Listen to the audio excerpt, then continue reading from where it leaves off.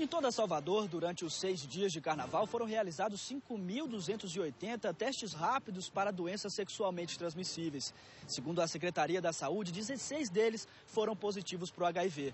A unidade campeã na realização desses exames foi essa aqui, situada na Barra, onde foram feitos 1.264 exames. O problema é que todo o material hospitalar utilizado para isso foi descartado de maneira irregular. Por onde a gente anda, é possível ver parte desses testes espalhados pela rua. Dentro dessas caixas estão luvas, seringas e máscaras. E aqui, espalhado no meio da rua, estão esses frascos ainda com sangue das pessoas que realizaram esses exames, inclusive com o nome delas estampados no frasco. Só para você ter uma ideia, o Brasil produz por ano 149 mil toneladas de resíduos urbanos. De 1 a 3% desse total são de resíduos de serviços da saúde ou de lixo hospitalar. São mais de 4 toneladas por ano.